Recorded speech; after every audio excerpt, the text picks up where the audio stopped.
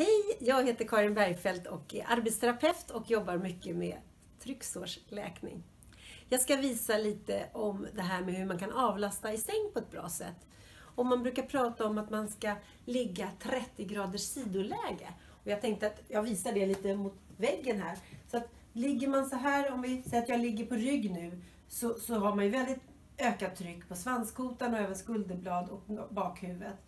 Och ligger man helt på sidan så här så har man ju väldigt mycket tryck på höft och knä och fot. Eh, och därför vill man att man ska ligga lite 30-gradigt sidoläge där man ligger mellan på mjukdelarna. Så att man tiltar upp helt enkelt lite grann så här. Oftast kan man nästan ligga kvar med, med axlarna och bara vrida knäna åt ena hållet.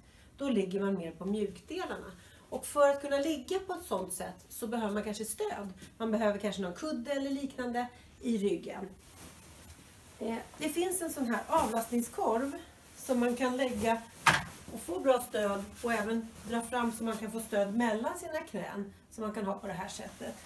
Man kan ju även ha olika typer av kilkuddar som man lägger direkt mot personen eller under, under lakan eller under madrass för att få ett mera sidoläge.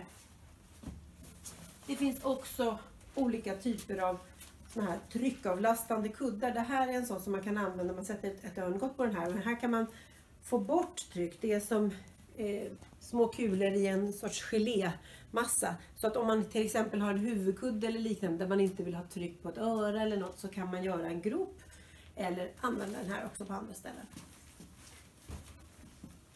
För att kunna flytta i säng så kanske man behöver något glid och då kan man använda antingen om man har glidlakan men det finns också fina bra glidtyg av olika sort. Antingen de här som är som en tub som man kan eh, lägga dit, glida på och sen tar man bort för det blir väldigt halt att ha kvar. Eller det här tyget så, som heter prassligare som man, man klipper till bitar som glider i alla riktningar.